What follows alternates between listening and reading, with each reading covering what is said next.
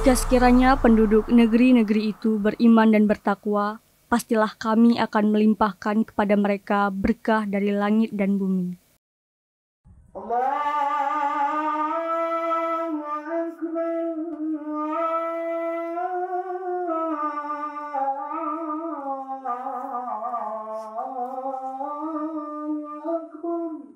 Langit dan bumi adalah semesta yang melingkupi hidup manusia. Semua yang terdapat di langit dan bumi mulai dari air hujan, tumbuhan, hewan, dan segala macam sumber-sumber kehidupan telah Allah limpahkan untuk manusia. Untuk itu, keberkahan ini berarti bahwa memang Allah memberikan nikmat berupa segala materi yang dibutuhkan manusia.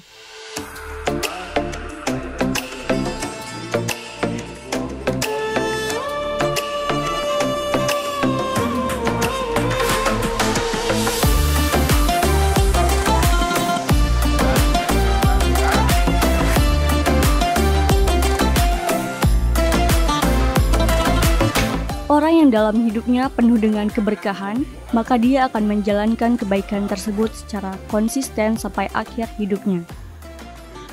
Salah satu kebaikan yang sahabat bisa lakukan dengan mudah dan konsisten adalah bersedekah.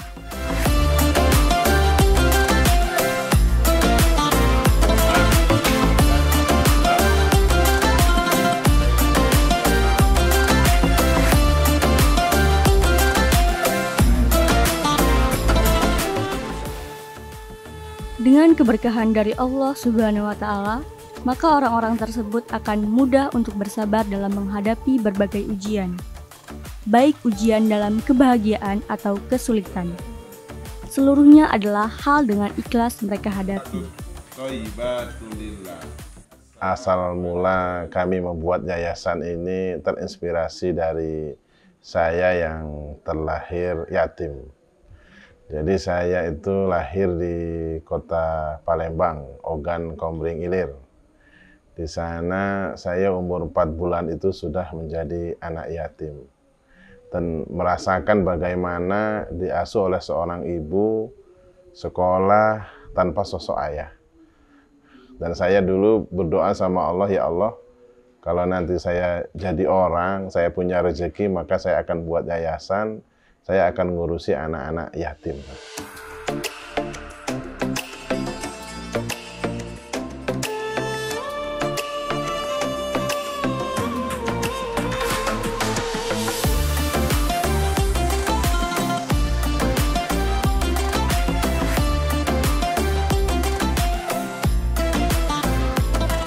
Kalau yang dulu kami ini sebenarnya mulai dari Palbatu di desa Palbatu di atas itu itu dari tahun 2009. Alhamdulillah kan sudah ada cabang di Kepahyang, cabang di Duku Ilir dan di sini. Tetapi yang yang kami urusi sekarang itu di Duku Ilir dan di sini di Desa Air Meles Bawah Dusun Lima.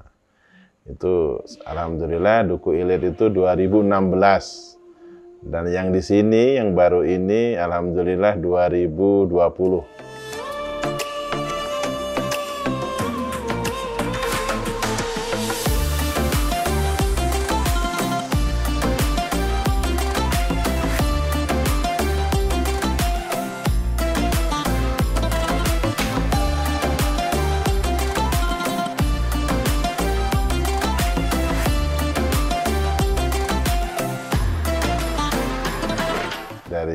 Baginda Rasulullah Shallallahu Alaihi Wasallam bahwasanya beliau pernah bersabda, saya bersama apa hamba Allah yang sayang, yang cinta sama anak yatim itu ke ini. Jadi bersama kami di surga nanti dekat berarti.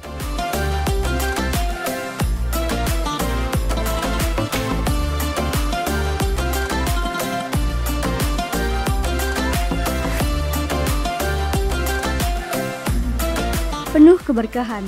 Namun demikian, setiap pribadi tentu akan merasakan keberkahan hidupnya yang berbeda antara satu dengan yang lainnya.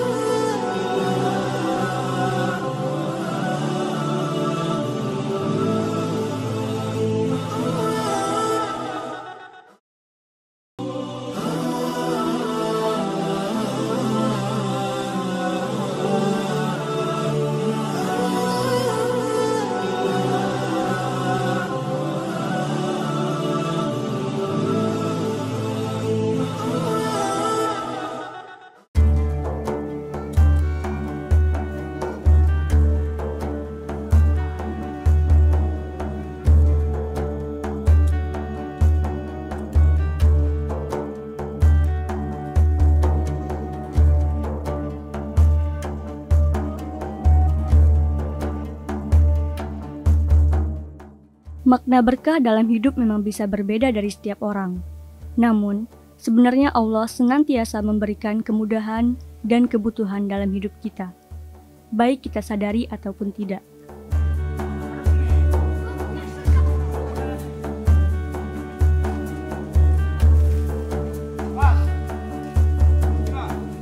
Semoga sebagai manusia kita selalu menyadarinya dan bersyukur setiap saat akan kenikmatan yang menjadi berkah dalam hidup kita.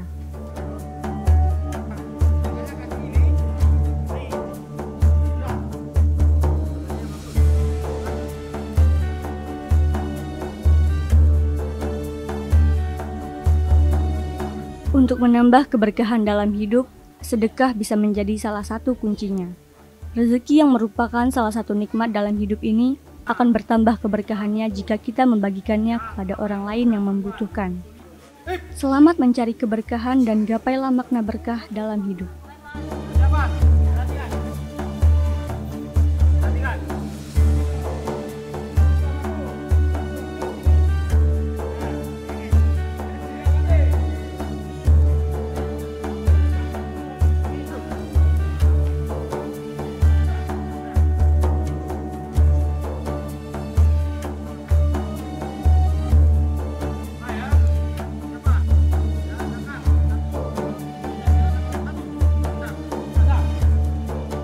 Hidup berkah adalah idaman bagi setiap muslim.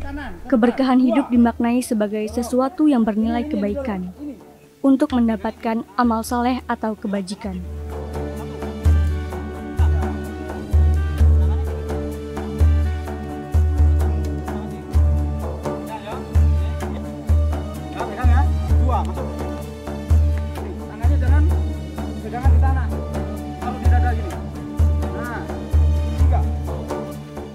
Seperti yang dilakukan pemuda Rejang Lebong ini. Dengan bantuan para donatur yang ada, beliau membangun pondok ini dengan mengharapkan keberkahan dari Allah. Dengan bantuan itu, artinya mereka juga bersedekah karena dapat mendatangkan rezeki berlipat ganda.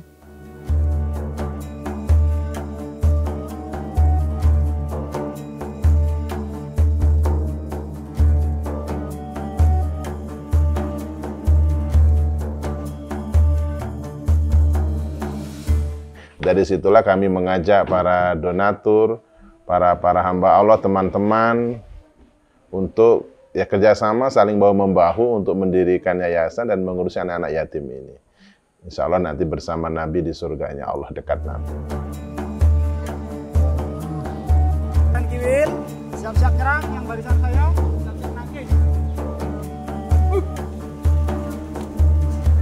Orang yang bersedekah diibaratkan dengan menanam sebuah biji atau sebutir benih yang akan menumbuhkan tujuh pulir atau buah. Pada masing-masing buah yang tujuh terdapat seratus biji yang akan menghasilkan buah baru. Artinya, orang yang bersedekah satu kali saja akan diberikan balasan berkali-kali lipat. Langsung dipegang sini, ini didorong nanti ya. Didorong. Ini pas nanti mau dipukul kaki langsung naik.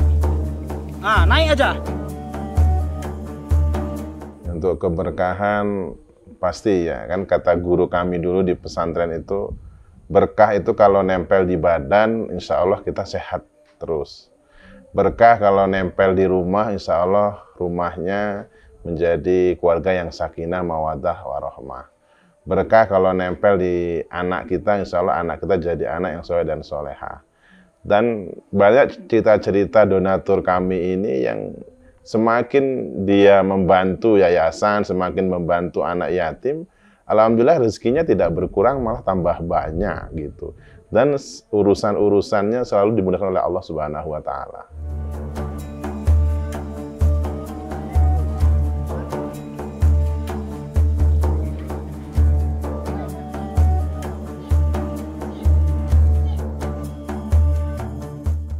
Beliau dan para donatur meyakini bahwa nantinya mereka akan mendapatkan keberkahan seperti yang tertuang dalam surat Al-Baqarah ayat 220. Mereka bertanya kepadamu tentang anak yatim. Katakanlah, memperbaiki keadaan mereka adalah baik. Al-Quran Surat Al-Baqarah 220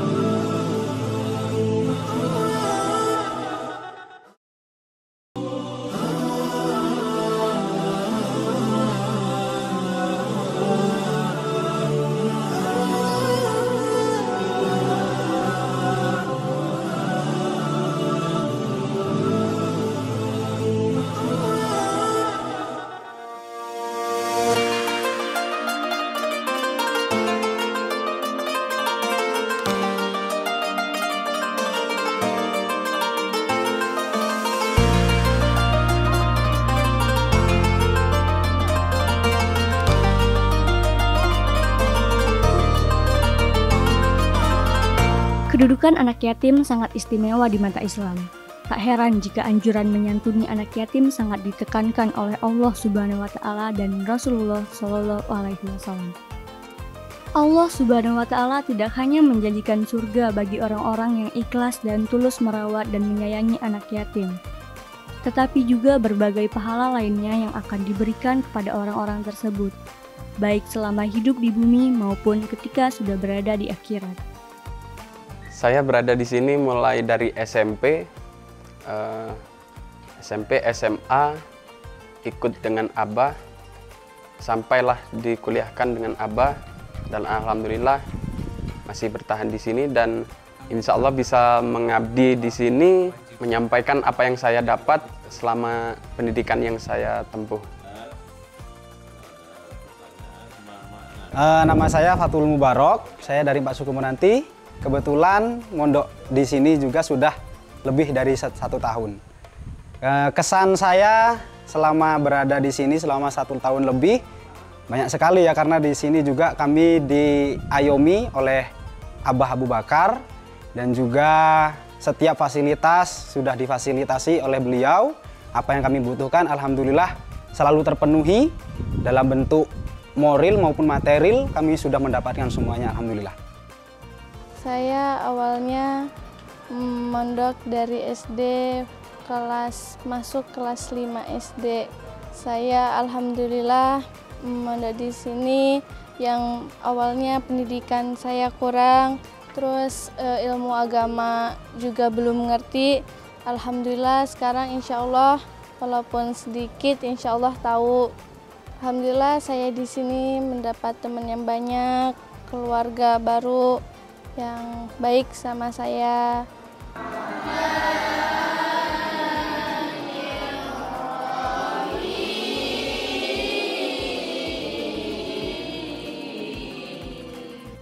Anak yatim yang kurang mampu memiliki kedudukan yang utama dan menjadi prioritas dalam menerima santunan, zakat, infak, dan sodako.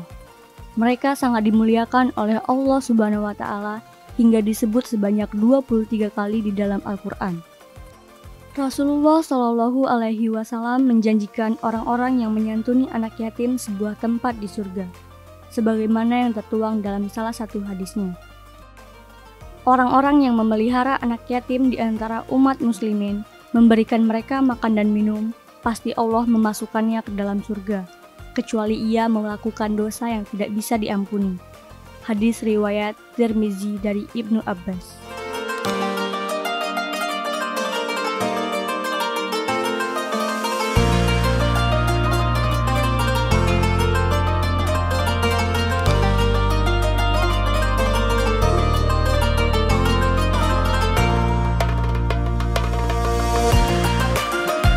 Kalau untuk segi keagamaan, alhamdulillah banyak perubahan semasa saya berada di yayasan ini. Selama saya ikut Abah, alhamdulillah saya begitu banyak perubahan uh, dari banyak yang tidak tahu akhirnya menjadi tahu. Intinya banyak-banyak bersyukur. Motivasi saya di, berada di sini tentunya uh, banyak keberkahan dan manfaat uh, terutama perubahan tentang kehidupan yang saya rasakan uh, mulai dari mungkin dari hal kecil seperti ngaji, sholat dan alhamdulillah ada perubahan sampai jenjang yang saya dapatkan. Mungkin nantinya uh, apa yang saya dapat bisa juga saya sampaikan. Motivasi saya selama berada di sini awalnya cuman tahu informasi dari media sosial.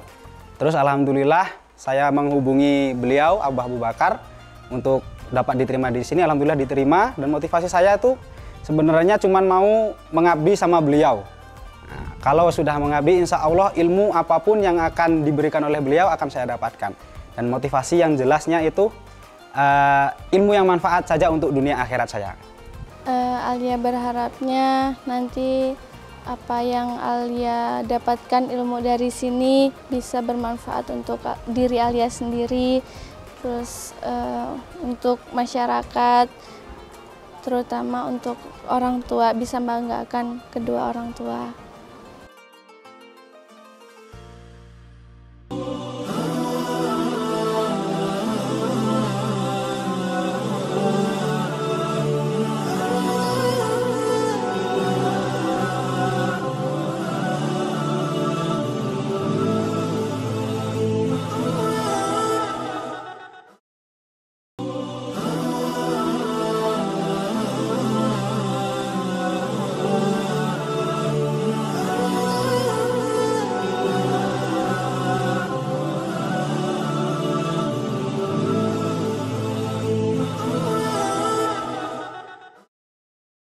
Bismillahirrahmanirrahim. Rabbi firli wali walidayya warhamkuma kama rabbayani saira. Amin. Allah tidak hanya menjanjikan surga kepada orang-orang beriman yang mau merawat dan menyantuni anak yatim, tetapi Allah juga akan memberikan uluran tangan kepada orang-orang tersebut ketika mereka mengalami masalah atau kesulitan.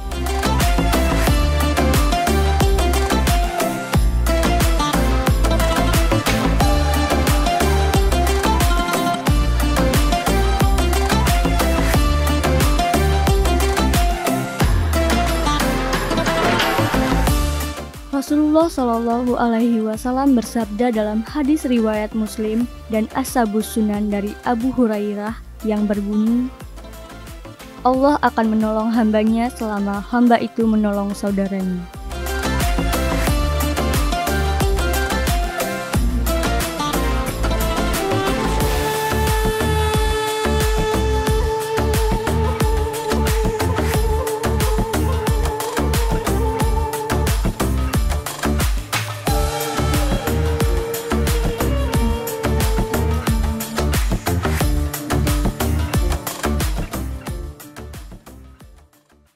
Anak-anak di sini dibekali berbagai ilmu baik ilmu dunia maupun akhirat, agar kelak mereka dapat membanggakan kedua orang tua mereka. Mereka dapat mengirimkan doa-doa kepada orang tua mereka. Diharapkan mereka dapat menjadi amal jariah bagi kedua orang tua mereka. Karena doa anak-anak soleh soleha adalah amal jariah untuk orang tua. Dan ilmu-ilmu yang mereka dapatkan di sini bisa bermanfaat bagi diri mereka sendiri dan masyarakat.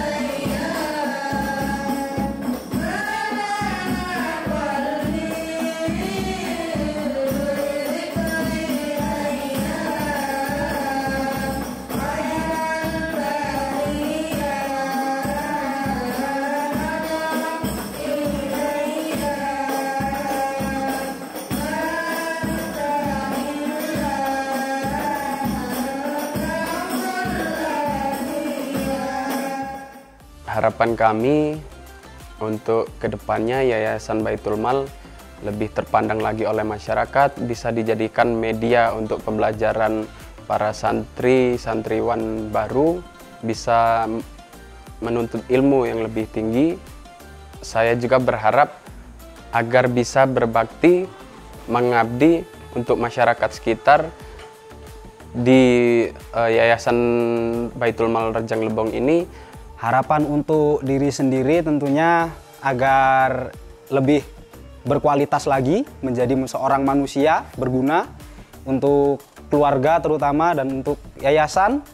Pesan untuk yayasan tentunya masih banyak kekurangan dan tentunya juga ada di balik kekurangan ada kelebihan. Dan dalam kekurangan-kekurangan itu pesan saya lebih ditingkatkan kembali agar yayasan ini menjadi yayasan yang memang berkualitas untuk seluruh umat. Alia berharap semoga pondok ini terus berkembang, terus uh, santrinya semoga menambah banyak, terus bisa untuk menjadi contoh-contoh untuk yang lainnya, pondok-pondok lainnya. Harapannya cuma satu, mudah-mudahan mereka itu menjadi hamba Allah yang soleh dan soleha. Jadi hamba Allah yang soleh dan soleha, dan harapannya untuk yayasan ini semakin berkhidmat untuk umat. Karena moto kita ini dari umat, oleh umat, untuk umat.